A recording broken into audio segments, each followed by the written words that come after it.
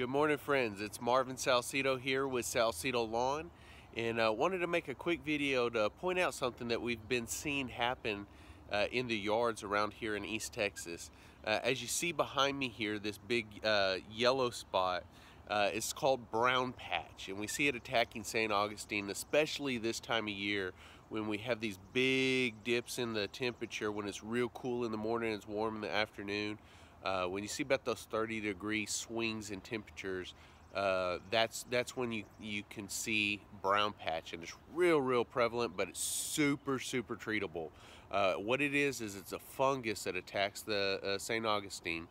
and it needs to be treated with a fungicide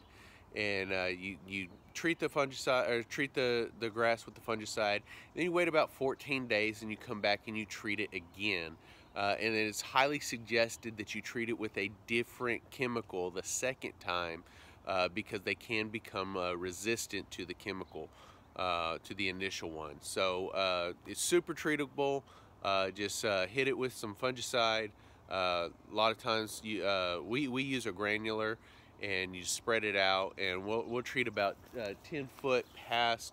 the affected area all the way around and uh, then we'll come back in uh, here in about two weeks and treat it again so uh, if you have this problem you need a quote um, hey just give me a shout we'd love to put a quote together for you uh, you can send me a message here on Facebook or you can call our office at 903 502 0669 uh, that's 903-502-0669 and uh, we'd love to help you out. Hey, thank y'all so much. Y'all have a wonderful day.